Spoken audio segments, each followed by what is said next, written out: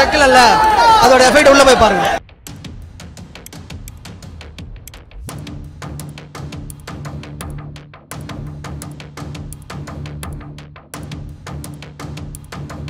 பாத்தீங்கன்னா தெரியும். ரோகிணி பிளாஸ் தளபதி பிளாஸ் வேற